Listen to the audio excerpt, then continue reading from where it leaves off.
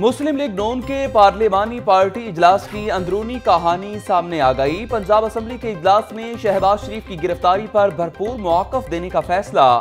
Assembly اراکین کو شہباز شریف کی گرفتاری بارے تقاریر کی ہدایات۔ اپوزیشن لیڈر حمزہ شہباز بولے، نیب نون لیگ سے سیاسی انتقام نہ لے۔ انصاف ہوتا نظر آنا چاہیے۔ کوئی ادارہ زیادتی کرتا ہے تو اس کے خلاف آواز اٹھانا جمہوری حق ہے۔ کانسٹیبل کے امیدواروں کی بھرتی میں گڑبڑ، گھٹولا۔ امتحانات لینے والے ٹیسٹنگ سروس پر مبینہ کرپشن کے سنگین الزامات۔ سی ٹی ایس کے عملے نے کانسٹیبل کی بھرتی کے لیے پرچے پیسے لے کر حل کرائے۔ امیدوار کی بجائے غیر متعلقہ افراد کو امتحانات میں بٹھا دیا۔ فی پرچہ پچاس ہزار سے دو لاکھ روپے تک وصولی۔ درجنوں جاری امیدواروں اور سہولت کاروں کے خلاف مقدمات درج۔ ایف آئی آر کی کاپی لاہور نیوز پر۔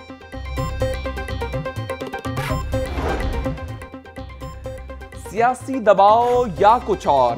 تبدیلی سرکار نے لینڈ مافیا کے سامنے گھٹنے ٹیک دیے۔ قبضہ مافیا سے آراضی واگزار کرانے کے لیے ایل ڈی اے کا آپریشن بند۔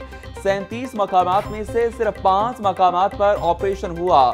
اربوں روپے کی قیمتی آراضی کے بتیس مقامات پر ابھی تک مافیا کا قبضہ۔ میانی صاحب اور میاں میر کے بعد اب ماڈل ٹاؤن قبرستان میں قبضہ مافیا کا خاتمہ گینڈ آپریشن کے دوران سولہ احاطے، گھر اور دو دکانیں مسمار کر دی گئیں۔ ڈیپٹی کمشنر کا دورہ مسماری کے عمل کا جائزہ لیا۔ لاہور نیوز کی کابشوں کو سراہا۔ کی اور ہائی کورٹ نے اس کا ایکشن لیا۔ لیکن میں یہ ایک بات بتانا چاہتی ہوں یہاں پہ گورنمنٹ جو ہے وہ میسیو لیول پہ اینٹی انکروچمنٹ ڈرائیو کر رہی ہے اور ہمیں اس کی انسٹرکشنز ہیں۔ اور الحمدللہ ہمارے پانچ اے سی ہیں لاہور کے۔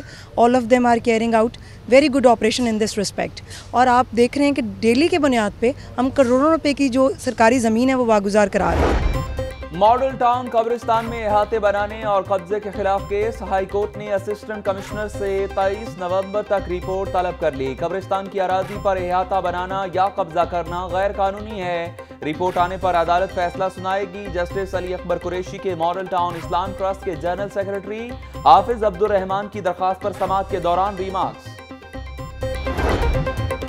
سرکاری عمارتوں میں آتش زدگی کے واقعات کی انکوائری کا معاملہ، انکوائری ٹریبیونل محمد اختر بھنگو کو چیف سیکرٹری کی مبہم رپورٹ موصول۔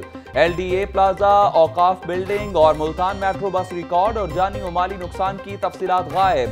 ضمنی تفصیلات فراہم کر کے خانہ پوری کی کوشش۔ پی پی ایک سو اڑسٹھ میں ضمنی انتخاب کا دنگل، تحریک انصاف نے ملک اسد علی کھوکر کو میدان میں اتار دیا۔ پارٹی کی جانب سے ٹکٹ جاری کر دیا گیا۔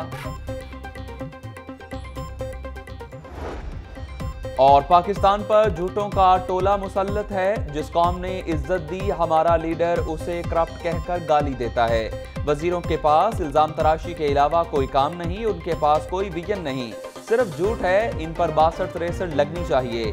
مسلم لیگ نون کے رہنما، رانا مشہور کی پریس کانفرنس